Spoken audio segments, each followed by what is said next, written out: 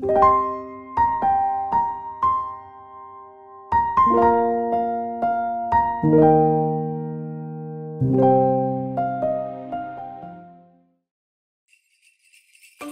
hạnh và trân trọng giới thiệu đến quý thiền sinh trong đại gia đình Diệu Âm và quý khán thính giả hữu duyên khắp nơi trên thế giới. Những bài giảng chân lý mà Guruji Ruma đã ban xuống nhân gian trong khóa bế quan âm lưu phúc lạc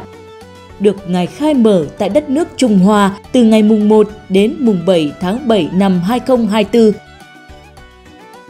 Đông đảo thiền sinh khắp nơi trên thế giới đã quy tụ về Nam Ninh, Trung Quốc cùng Kuruchi Ruma tham thiền nhập định. Nguyện cầu các đấng tối cao càn khôn vũ trụ ban lực lượng bình an cho muôn sinh. Nguyện cầu các ngài từ bi gia hộ cho chúng sanh Đông Nam Á, châu Á và thế giới được sống trong hòa bình, ấm no và phúc lạc. Trong sức gia hộ của Guruji Ruma và các ngài, các thiền sinh đã được sống những ngày an lạc, tập trung thiền định cùng ân sư đưa lực lượng cầu nguyện, lực lượng tâm ấn và khối lực lượng dòng âm lưu thượng đế bao phủ châu Á và địa cầu, tẩy rửa bao oan nghiệp tồn động từ ngàn đời của chúng sanh, hóa giải sự hận thù, chiến tranh, hồi sinh lực lượng hòa bình, hưng thịnh và yêu thương cho thế giới này.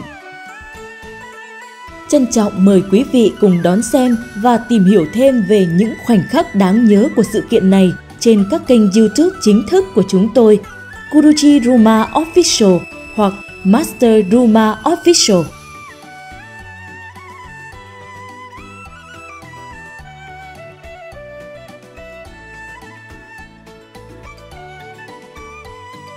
Những buổi khai thị của Guruji Ruma trong khóa bế quan sẽ được cập nhật tuần tự để quý vị có thể cảm nhận được ý nghĩa tâm linh sâu sắc và lực lượng âm lưu thượng đế thiêng liêng mà thượng đế ban xuống nhân gian qua khóa thiền âm lưu phúc lạc lịch sử và trọng đại tại Trung Quốc tháng 7 vừa qua.